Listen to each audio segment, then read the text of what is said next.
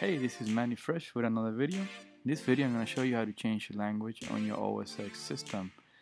You can follow the steps if you have any of the previous OS X or the newer ones. First, go ahead and click on the Apple logo and go over to System Preference. On the System Preference, you want to click on Language and Region. And on the Preferred Languages, go ahead and click the plus button wait for the list to show up. And as you can see there's many languages that you could choose from.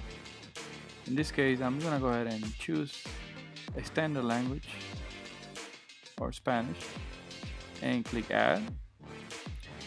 Then it's gonna confirm if you want to go ahead and make this your primary language. If you are gonna make this a permanent change go ahead and click use Spanish.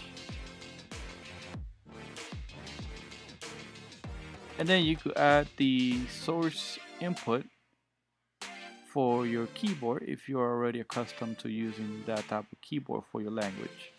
I'm just gonna click not now.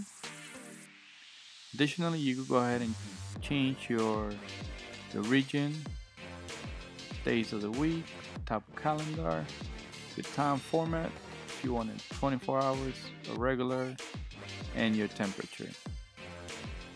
To apply the settings, you could either close or if you want to go back to preference you click back. So if you choose to close it's gonna ask you to apply the changes you need to restart the computer.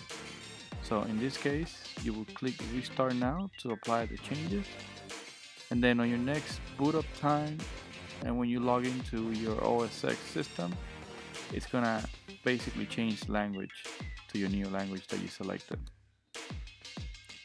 So that's basically how you change the language if you have any questions, leave your comments below and thank you for watching and please subscribe.